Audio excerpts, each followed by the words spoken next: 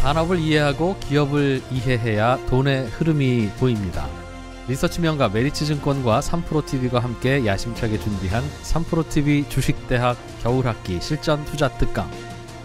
남보다 한 발 앞서서 유망한 산업을 판단하고 1등 종목을 선정하는 투자의 기본기를 다지는 시간이 될 겁니다. 국내 최고의 애널리스트 21명과 함께 떠나는 2021년 성공 투자를 위한 단 하나의 필수 코스. 지금 바로 신청하세요. 자세한 사항은 페이지 2 공지사항을 확인하세요. 자, 그러면 오늘 아, 본격적인 이야기를 이분과 함께 나눠보도록 하겠습니다. 이분이 어, 아주 작은 목소리로 말씀해 주시는 것 같지만 이분이 말씀해 주신 게 굉장히 잘 네. 어, 맞는 경우가 아주 많았죠. 이분 예. 말씀만 잘 들었어도 음. 저도 지금쯤 다른 상황이었을 텐데. 아니, 유진 그러니까 헌- 이분 나오면 뭐 저기 약해 보인다고 놀리지 마시고 네. 말씀을 잘 들으세요 그러니까 동프로는 맨날 이분만 나오면 전, 뭐. 저 네? 이분 너무 좋아하잖아요, 제가. 자 자, 유진투자증권의 허재환 연구위원님 어서 오십시오. 안녕하세요 네. 의원님 반갑습니다. 네, 제가 여의도에서 제일 좋아하는 애널리스트 중에 한 분이시죠 아, 그래요? 아 그럼요 아, 제가, 제가 표현을 안 할 뿐이죠 아, 제가 먼저 찜했는데. 자, 그러면 우리 허재환 위원님과 함께 오늘도 한번 이야기 들어보도록 하겠습니다. 예. 이큰 흐름을 좀 잘 알아야 되는데 자 일단 어 글로벌한 좀 매크로한 상황 이런 것부터 좀 얘기해 주시는 거죠? 네, 네. 뭐 최근에는 아무래도 이제 연말이다 보니까 되게 네. 좀 약간 그 소강 상태도 좀 있고 예. 이슈들도 사실 너무 익숙한 이슈들이 많다 보니 예. 네. 약간 좀 이렇게 긴장감이 좀 떨어지는 것 같습니다. 그렇죠 마이크 약간만 가까이 할까요? 아, 네. 네. 아니 마이크를 당기셔도 됩니다. 마이크. 네. 고맙습니다. 네. 그래서 긴장감이 조금 떨어지는 감은 있는데, 네.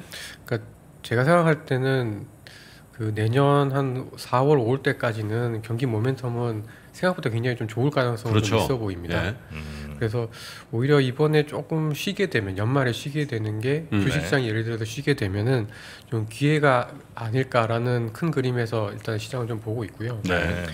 뭐 요즘 계속 뭐 코로나 때문에 어, 바이러스 때문에 조금 뭐 전 세계가 다시 또 좀 흔들리고 있긴 한데 네. 그러니까 제가 생각할 때는 제일 핵심은 재고 사이클인 것 같습니다. 재고 사이클 네. 예. 그러니까 뭐 어떻게 보면 그 글로벌하게 경기가 올해 크게 좋은 나라들은 별로 없는데 또 의외로 또 코로나 때문에 약간 수혜를 받는 산업들도 있었지 않습니까? 그렇죠 근데 그게 약간 엇갈리면서 지금 네. 나타난 현상 중에 제가 좀 주목해서 보는 거는 예. 각국의 재고가 별로 없는 상태입니다. 음. 음. 근데 이제 코로나 때문에 이제 그 순서가 좀 다른 거죠. 네. 뭐 예를 들면 반도체 같은 경우는 이 네. 재고가 진짜 없고 예. 뭐 다른 산업들은 재고가 있는데 이제 지난 1년 동안 생산은 조금 했고 오히려 이제 수혜를 받는 산업들은 이제 출하는 많이 되다 보니까 예. 재고가 지금 다 굉장히 좀 없는 상황인 것 같습니다. 예. 한국 같은 경우도 지금 한국의 출하 재고 비율이 2년 어, 지금 두 달 연속 그 재고보다 출하가 더 늘어나고 있거든요. 어, 네. 그 재고 수준 소진되고 있다는 얘기네 네. 그래서 지금은 어, 어떻게 보면 내년에 경기가 아주 좋지 않는다고 치더라도 음. 전체적으로 보면 기업들이 약간 좀 재고를 쌓아야 되는 상황으로 가고 있는 것 같아요. 네. 근데 이제 또 뭐 코로나가 막 생기니까 바이러스가 또 이렇게 팽배하니까 네. 사람들의 활동 자체는 굉장히 지금 위축되어 있지만 음. 예. 이 재고라는 건 어쨌든 쌓아두면 나중에 또 그 좋은 가격에 팔 수가 있는 거잖아요. 예. 그래서 저는 최근에 반도체 가격이 올라가는 거, 음. 철광석 가격이 올라가는 거, 이 다 모든 것이 결국은 재고 사이클을 재고가 이제 더 이상 줄일 수가 없는 상태에 갔다. 음. 그래서 사람들이 또는 기업들이 재고를 쌓기 시작을 했다. 음. 저는 이제 이 사이클이 지금 시작된 것 같거든요. 네. 그러면 이제 이게 또 어떤 의미가 있냐면 보통 이제 경기가 좋아질 때 보면 공급이 굉장히 없어가지고 이 재고가 늘어서 이제 늘면서 이제 시작되는 사이클이 있고 예. 그다음에 정말 수요가 좋아지는 사이클이 있거든요. 예. 음. 근데 지금은 이제 아직은 수요 좋아지는 거는 시장이 별로 반영도 안 했다라는 거죠. 네. 그러니까 오히려 지금은 이제 공급 측면에서 재고가 워낙 없어서 지금 사이클이 약간씩 도- 돌기 시작을 했고 음. 여기서 이제 정말 백신의 효과 네. 뭐 이런 것들이 이제 나타나게 되면은 그 이후에는 이제 수요가 더 늘어나면서 나타나는 효과도 발생을 할 수가 있기 때문에 음. 네. 전체적으로 보면 사이클은 지금 바닥을 치고 조금씩 어. 올라가고 있는 사이클이다. 네. 이렇게 좀 보여지고 아직은 수요가 좋아져서 정말 그 경기가 확장되는 사이클에 가지도 않았다. 음. 그러니까 어떻게 보면 사이클에 지금 큰 사이클의 한 절반 미만에 있는 상황이다. 저는 이렇게 그렇게 좀 보고 어, 있습니다. 그래서 그 전체 지금은- 경기가요? 아니면 네, 반도체가 경기가요. 전체 경기가 예. 그래서 지금은 어. 재고를 쌓을 수 있는 산업에 좀 주목을 할 필요가 있다. 그럼 재고, 재고를 쌓을 수 있는 산업이 결국은 반도체, 그다음에 이제 뭐 소재, 화학 뭐 이런 것들이 네. 어, 가장 주 대상이 되지 않겠느냐. 경기 관련 주네요. 네, 재고를 쌓을 수 있고 소진할 수 있는 네. 게 경기 관련 주잖아요. 그죠? 네. 음. 그리고 제가 또 좀 그 이런 매크로한 흐름을 보다가 좀 재밌었던 재밌게 보는 게 그 신흥국 주가가요. 네. 보통 일반적으로 저희가 아는 신흥국 주가는 이제 원자재 사이클이라는 거죠. 예. 근데 이제 지금 신흥국 주가가 보면은 거의 사상 최고치에 지금 세 번째 도전을 하고 있습니다. 음. 그러니까 아직 뚫지는 못했습니다. 아, 한국뿐만 아니라 다른 데들도 그래요. 그러니까 한국은 그래도 지금 뚫었는데. 코스피가 이제 고점을 뚫고 이제 쭉 올라갔고 예. 미국은 뭐 2008년부터 계속 사상 최고치였는데 예. 음. 지금 사상 최고치를 경신하고 있는 나라가 대만하고 인도 정도 어, 밖에 는 없습니다. 음. 그러니까 글로벌 주가가 굉장히 많이 올랐다라고 생각하지만 네. 막상 지금 사상 최고치를 뚫으면서 완전 우상향하고 있는 나라는 미국, 그다음에 뭐 한국, 뭐 인도, 음. 대만 이렇게 약간 IT 산업이 있는 사, 나, 나라들만 좀 뚫고 있고 네. 아직 그렇지 못한 나라들이 굉장히 많다라는 건데 음. 그런 나라들도 지금 어, 주가 자체가 사상 최고치를 이제 뚫느냐 마느냐에 굉장히 좀 critical한 중요한 시점에 와 있다라는 겁니다. 네. 그래서 만약에 이게 정말 뚫린다라고 하면은 어, 또, 또 다른 국면이 또 새로 시작이 되는 걸로 봐야 되는 게 아니냐. 이제 저는 이제 그렇게 보는 거죠. 어. 음. 그래서 연말에 굉장히 좀 사이클상 그리고 이제 연말에 어떤 소강 국면이 예상이 되고 뭐 여기서는 조금 쉬어갈 수 있는 타임이긴 하지만 음. 전체적인 큰 사이클은 측면에서 봤을 때는 여전히 내년에도 조금 더 어, 좋아질 수 있는 사이클이 진행이 되고 있다. 음. 저는 그렇게 좀 보고 있습니다. 네. 근데 그 말씀을 좀 듣다 보니까 아니 뭐 사실 경제는 이렇게 지금 안 좋은데 주식이 사상 최고가를 논하는 게 더 이상한 거 아닙니까? 그러니까 사상 최저가가 아닌 게 이상한 거지. 사상 최고가가 아니라 아니니까 더 갈 가능성이 네. 있다고 얘기하는 거는 그나마 이제 우리나라 대만 뭐 이런 나라들은 그래도 뭐 IT나 이쪽으로 그러니까 언택트 관련해서도 많이 뭔가를 생산을 많이 할 수 있으니까 그나마 이제 이렇게 네. 많이 오른 거지만 그렇지 않은 나라들이 주가 지수가 어 낮다는 거는 너무나 당연한 거 아닙니까? 그 이게 더 올라오는 게 당연한 게 아니라 아, 당연한 건데요. 네. 근데 이제 주식 시장은 어떻게 보면 좀 먼 그림. 그러니까 예를 들면 한 3개월에서 6개월 뒤를 내다보잖아요. 네네. 근데 그런 측면에서 봤을 때는 음. 어, 신흥국 주가가 그래서 여전히 밑에 있었는데 네. 쭉 많이 올라왔거든요.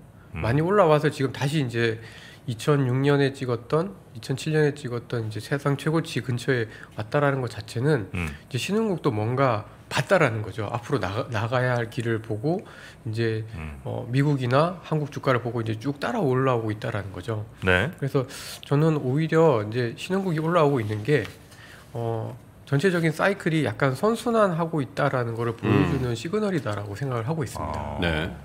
그러니까 어떻게 보면 바이러스 때문에 IT가 있는 비대면의 수혜를 보줄 수 있는 미국이나 한국이나 대만이 좋은 건 너무나 당연한데 네. 사실 어떻게 보면 나스닥이나 한국 주가는 YTD 그러니까 연초 대비해서 지금 뭐 30% 40% 가까이 올랐지 않습니까? 네네. 근데 만약에 내년에 그러면 내년에 경기에 대한 기대가 전혀 없다라고 하면은 사실 어 언택트만 계속 가, 계속해서 가야 되겠죠. 음. 근데 지금 시장의 흐름은 보면은 어 약간 또 좀 균형을 맞추려고 하는 시장의 힘도 경기 관련주들이 꽤 은근히, 예, 올랐죠. 은근히 꽤 세다라는 거죠. 예. 음. 그럼 여기서 이제 우리가 무게 중심을 어디에다 두고 시장을 바라볼 거냐 네. 그런 측면에서 봤을 때는 저는 어, 언택트도 좋지만 음. 원칙도 좋고 앞으로의 세상을 지배하는 것도 맞지만 지금 상대적인 가격 측면에서만 봤을 때, 네. 즉 한두 달, 한 분기 정도의 어떤 타임 프레임으로 봤을 때는 음. 이 경기 관련한 주식들이 상대적으로 좀 싸다라는 거. 음. 그리고 아직까지 주식은 금리 대비해서는 제가 봤을 때는 좀 더 매력은 아직 좀 많이 더 남아 있다라는 거. 음. 요거를 좀 말씀을 어, 드리고자 합니다. 음, 네. 금리 대비해서도 매력이 있고 근데 경기를 이제 재고가 소진되는 것들을 이제 리스타킹하기 시작했다라면 경기가 좋아지고 그러면 원자재 좀 좋아지는 거 아닙니까? 원자재. 네, 예. 예. 맞습니다. 그래서 저도 그 구리 가격, 음. 그다음에 뭐 철광석 가격 이런 것들 열심히 보고 있는데요. 이게 보면 좀 그 뉴스들 보면은 이제 아직까지는 음. 수요가 대단히 좋아지는 것보다는 음. 이제 공급, 그러니까 예를 들면 철광석 업체인 뭐 발레나 이런 업체들이 사실 올해 주, 어, 그 투자를 굉장히 줄였습니다. 네. 브라질의 발레. 예, 그러니까 아무래도 생산을 못해서 예. 이제 가격이 올라가는 측면들이 분명히 있는 거죠. 예. 그렇지만 전체적인 재고 사이클, 그 지금 누적되어 있는 뭐 중국의 항만에 있는 재고도 굉장히 좀 적은 편에 있다라는 겁니다. 그래서 저는 아직은 좀 더 추가적으로 상승할 가능성이 좀 있지 않겠느냐 네. 이렇게 좀 보여지고요. 그리고 원자재 가격도 이제 그 예를 들면 주식, 뭐 채권 이렇게 상대적인 가격으로 좀 바라볼 필요가 있거든요. 예. 네. 근데 이렇게 상대적으로 가격으로 봤을 때는 음. 원자재 가격이 굉장히 좀 싼 편입니다. 싼 편이에요? 예. 원자재가? 그러니까 예를 들면 미국 주가 대비 구리 네. 가격, 네. 뭐 그다음에 그 원자재 내에서도 안전자산이라고 할 수 있는 골드, 금 가격 대비 구리 가격. 네. 아니면 미국 주가 대비 WTI 이런 거 하면 굉장히 싸네요. 네, 그러니까, WTI 많이 그렇죠. 올라온 것 같지만 미국 주식 오른 것 보면 그죠? 그러니까 미국 주가 대비 WTI나 브렌트 유로 보면은 아직 음. 국제 유가는 그 어, 그 코로나 이전, 그러니까 올해 1, 2월 이전 음. 수준에 좀 많이 못 미치는 거죠. 음. 그러네요. 예. 예. 그래서 이런 걸 보면은 만약에 내년에 정말 백신이 나와서 세계 경기가 음. 뭐 사람들이 다 얘기하는 것처럼 IMF가 얘기하는 거대로 뭐 어느 정도 그 과거의 어떤 평균 정도 수준의 어떤 성장률로 간다라고 네. 하면 원자재 가격이 아직은 굉장히 싼 편이다. 음. 저는 이제 그걸 좀 말씀드리고 싶고 그리고 어 결국은 뭐 항상 이 주식시장이 늘 이렇게 편중이 되긴 하는데요. 네. 이게 또 과하다 보면 어느 정도는 또 좀 평균으로 맞춰가는 음. 뭐 소위 이제 민 리버전이라고 하는 평균으로의 어떤 수렴 현상이 늘 나타나게 되는데 지금 보면 어, 한국 주식 시장은 그래도 이 굉장히 좀 지난 한 2, 3년 동안의 부진을 많이 씻어내고 음. 지금 상대적으로 좀 많이 올라와 있는 네. 상태인데 그 밖에 다른 자산들 신흥국 중에 한국이나 대만을 제외한 다른 자산들이나 다른 국가들의 주식은 굉장히 여전히 굉장히 좀 많이 낮은 편에 있습니다. 음. 음. 그래서 만약에 내년에 어- 글로벌 경기가 정말 더 나빠지지 않는다라고 네. 봤을 때는 상대적으로 그런 상대적으로 더 올랐던 원자재나 신흥국 자산이 그 오히려 이제 눈에 보이는 value가 굉장히 좀 뚜렷하다라는 거죠. 네. 그래서 저는 이제 음. 적어도 내년에 경기를 나쁘게 보지 않는다. 네. 그리고 내년에 시장을 좋게 본다라고 봤을 때는 음. 이런 이제 emerging 또는 이제 뭐 어, 아까 말씀드렸던 원자재와 관련된 산업들이 음. 어, 적어도 내년 상반기에는 굉장히 좀 potential이 upside potential이 리스크보다는 음. 어, 있다라고 좀 판단을 하고 있습니다. 음. 원자재와 신흥국. 그러면 원자재가 많이 나오는 신흥국 어떻습니까? 네, 전 좋게 보고 있습니다. 아. 그러니까 브라질, 러시아 이런 나라들이 음. 의외로 어, 셀수 있다. 그런 나라들이 지금 퍼포먼스로 따지면 제일 안 좋은 나라들이죠. 현재까지로 보면. 네. 그죠? 음. 그러니까 이게 연초 대비로 봤을 때는 굉장히 많이 안 좋고요. 음. 근데 최근에 이제 한 2, 3개월 보면은 많이 올라와 있거든요. 음. 그러니까 이게 이러한 변화를 이제 추세로 볼 거냐 아니면 정말 그냥 단기적인 기술적인 걸로 볼 거냐 이제 요 차인데 음. 저는 적어도 내년 상반기까지는 이러한 사이클이 주도를 할 수 있다 음. 이렇게 좀 보고 있습니다. 그 얘기는 우리 국내 주식시장에서도 주도주의 변화 혹은 에, 지금도 진행되고 있는 것 같지만 어쨌든 valuation의 그 에, 수렴 예를 들면 네. 에, 키 맞추기 이런 것들이 진행되는 내년 상반기 장일 거다 이렇게 추론할 수 있겠네요. 네. 저는 이제 그렇게 좀 보고 있고 네. 어 아무래도 이제 그 그로스냐 밸류냐 네. 뭐 성장주나 가치주냐 논란들이 올해 내내 굉장히 좀 강했던 것 같아요. 네. 근데 그 물론 이제 가격만 보면 당연히 이제 성장주가 좀 많이 올라서 부담은 있는데 음. 여전히 이제 포커스 산업의 어떤 패러다임의 변화 세상의 변화는 분명히 이제 성장주에 있는 거는 맞긴 합니다. 네. 근데 이제 내년은 이러한 그 산업의 어떤 패러다임 변화와 더불어서 음. 세계 경제의 어떤 그 모습도 좀 달라진다라는 거죠. 올해보다는. 음. 예. 그러면 그거에 대한 부분들도 저희가 이제 고려할 필요가 있는데 음. 저는 그런 측면에서 봤을 때는 내년은 좀 자산을 고르게 깔고 가야 되는 게 아니냐라고 보고 있습니다. 네. 그러니까 어느 쪽으로 너무 편중돼서 가다 보면 네. 사실 생각보다 그러니까 주가나 지수 자체가 오르는 거에 비해서 내가 느끼는 체감이 굉장히 좀 낮아지는 그 주가는 오르는데 나는 날마다 가난해지는데 그런 느낌을 받을 수 있다라는 거죠. 한쪽에 좀 집중하다가는 네. 그래서 아. 오히려 어, 이럴 때는 조금 그 자산을? 다변화시켜 놓는 좀 음. 이렇게 그 깔아놓는 전략이 내년에 좀그 맞지 않나 싶습니다. 올해 같은 장에서 많이 먹은 분들은 허재한 의원께서 지금 얘기하는 어 그거 괜찮네. 예, 깔아놔야 되겠다 그러는데 먹은 게 없어요. 아 그래서 아, 공감 못 하시나 봐. 아 저요? 예. 저는 조금 잃었거든요. 잃었어? 하물며? 이런 그러면, 경우. 그러면 지금 지금이라도 깔아야 돼요. 지금이라 지금 지금은 오히려 네. 좀 되는데 그냥 집중해야 되는 거 아니에요? 그러니까 저는 그러니까 그래서 오히려 네. 그 그러니까 저는 이제 좀 상반기랑 하반기의 전략을 약간 다르게 가져갈 필요가 있지 내년 상반기와. 하반기 전략이 다르다. 그러니까 상반기는 말씀하셨던 것처럼 좀 이렇게 깔고 가거나 음. 아니면 상대적으로 좀 싸 보이는 음. 가격에 대한 부담이 좀 적은 쪽으로 가고 네. 내년 하반기에는 다시 이제 원래의 어떤 성장주 네. 또는 원래의 어떤 음. 산업 산업의 패러다임에 맞는 산, 어, 산업이나 기업 쪽으로 이제 가자 네. 그렇게 좀 보고 있습니다. 음. 아, 상반기에는 좀 깔고 하반기엔 다시 성장주 쪽에 집중. 맞습니까? 네 그렇게 정리하시면은 예, 제 의견과 음. 많이 부합하는 것 같습니다. 깔 때 뭐뭐 깔을까요? 아까 말씀해주신 뭐 저 경기 네. 관련주. 반도체하고 소재처럼 네. 재고를 깔고 있다가 나중에 다시 팔할 수 있는 이런 산업들이 가장 좋아 보이고요. 음. 그리고 아주 짧게 보면은 반도체가 좋으면 사실 이제 반도체 장비주도 이제 봐야 될 시점이고 뭐 많이 아시겠지만 이미 이제 1월에 항상 그 반도체 장비주들 되게 들썩들썩 하지 않습니까? 네.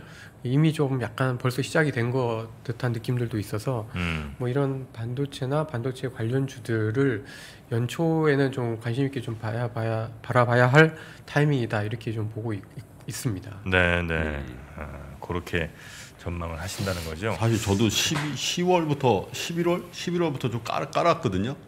좀, 좀 이렇게 얇게 좀 아, 폈어. 얇게 좀 펴봤는데 관심도는 많이 떨어지더라. 아, 피니까. 아, 뭐, 뭐 이렇게 오르고 내리고 해도 어. 어. 중국도 좀 피고 뭐 어? 한국도 경기 관련주도 쭉쭉 펴- 쭉쭉쭉 펴놨더니 네. 그냥 뭐 예, 아까 음. 그냥 평균의 회기 회, 저 어? 그런 그런 느낌. 음. 이 시간에 저는 어, 뭐 저는 깔았거든요. 음. 이미 이미 이제 한참 전부터 깔았어요. 음. 그래서 남들 뭐 몇 배씩 올랐네, 뭐 50% 먹었네, 뭐 이럴 때 음. 음, 저는 그냥 희한하게 깔았는데 시장만큼 안 올라가더라고요. 예, 그거는 무슨 무슨 똥손이라 그런 건지 분명히 좋아 보이는 섹터에 음. 괜찮아 보이는 업, 기업이었다고 저는 판단을 했는데 음. 희한하게 안 갑디다. 안 가요, 그게. 그래서 아 그래 이 친구는 나와 인연은 아닌가 보다 하고 음. 이제 잠깐 이제 다른 친구한테 또 관심을 주죠. 그때까지. 그렇죠. 음. 그때 또 기다렸다는 듯이. 하여튼 뭐, 뭐 개인적인 얘기니까 이건 뭐 여기서 마무리하겠습니다. 여튼 바이오주는 어떻게 돼? 바이오. 바이오? 바이오 잘 나가잖아. 바이오주는 저는 이제 한국의 부동산보다도 비싼 게 한국의 바이오주다라고 생각을 합니다. 네. 근데 이제 좀 특수한 상황이 있는 거죠. 한국의 네. 바이오주들이 강한 이유는. 근데 이제 그 계절적으로는 저는 지금은 좀 봐야 되는 시점인 것 같긴 해요. 왜냐하면 아, 봐- 보통 봐야 된다는 게 관심 가져야 된다. 그러니까 이게 바이오 관심 가지라고요? 네, 그러니까 계절적으로, 그러니까 어떻게 보면 네. 항상 1, 2월에는 되게 그 코스닥 종목들, 예를 들면 이제 반도체 장비, 음. 그다음에 바이오주들이 네. 항상 좀 꿈틀거렸던 것 같아요. 그래요. 1, 2월에 예.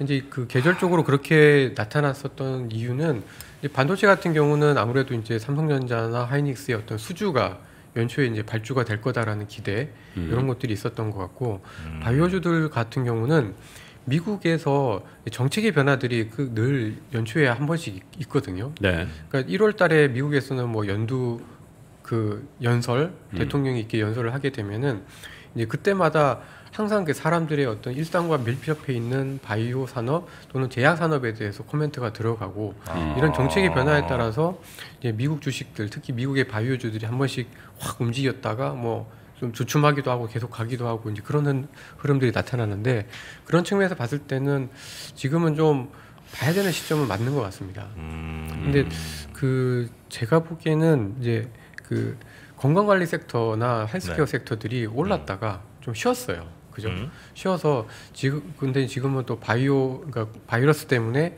좀 봐야 될 시점은 좀 온 것 같지 않느냐 이렇게 이런 거랑 같이 맞물려서 보시면 좀 되지 않나 싶습니다. 바이오는 어떻게 조금 큰 쪽으로 안전하게 갈까요? 아니면 뭔가 이렇게 어, 어떤 특정한 질병이라든지 어떤 특정한 약에 대해서 그래도 이렇게 소문이 무성한 뭐 이런 쪽으로 한번 몰아볼까요? 어, 저는 특정한 약도 굉장히 관심 있게 볼 필요가 있는 게 아 그렇습니까? 그러니까 올해는 사실 이제 바이러스 때문에 이렇게 제약 산업들에 대해서 관심들이 좀 높았지만 네. 이번에 그 모더나나 뭐 파이자나 바이온테크가 이렇게 백신을 만들어낸 걸 보면서 음. 저는 그러니까 약, 이건 약간 긴 이야기인데요. 그러니까 바이오 산업에 대한 시각이 좀 바뀔 것 같아요. 음. 그러니까 인류가 굉장히 큰 위기가 와도 이제는 약을 만들 수 있다라는 그러니까. 거를 네. 보여준 거잖아요. 네. 음. 그러면 이, 이 정말 전례 없는 유례 없는 이런 질병에 대해서 약을 만들었는데 음. 우리가 다른 병들 다른 병들은 왜 못 만들겠느냐 그리고 특히 바이온테크 같은 기업은 2018년에 상장되어 있는 네. 물론 하버드 박사 출신들이 만든 이제 그 스타트업이 이제 상장을 한 거지만 되게 이제 기술력이 되게 탁월하다라는 거죠.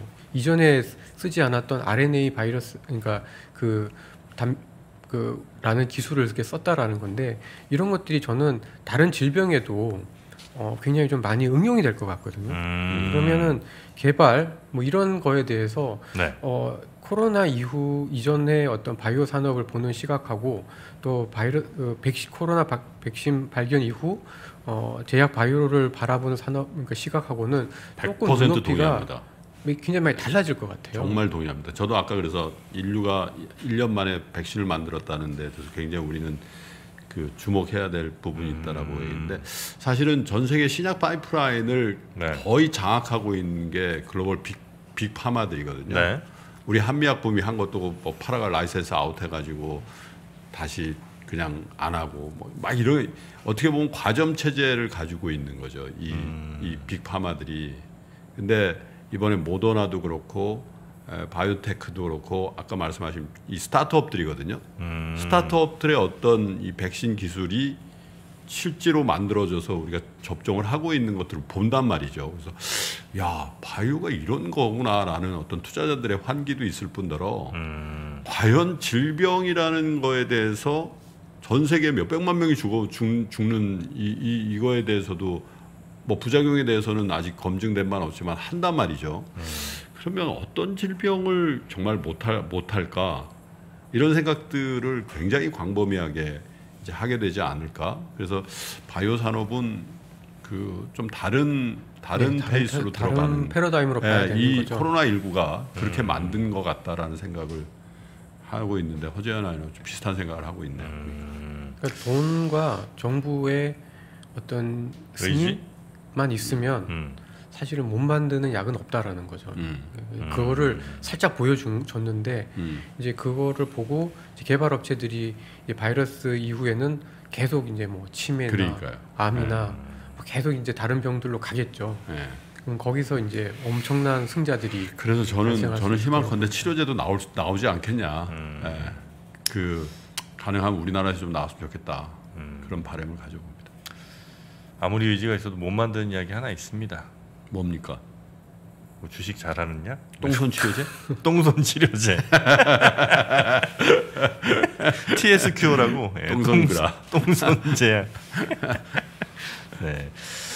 자, 하여튼 어, 우리 허재한 의원님 어, 네. 내년에 어떤 종목, 어떤 섹터에 조금 더 관심을 가지고 어떤 방식으로 투자를 해야 되는지 네. 오늘 도움 말씀 아, 너무 좋습니다. 음. 허재한 의원님 고맙습니다. 감사합니다. 네, 다음에 또 봬요. 네. 네, 고맙습니다.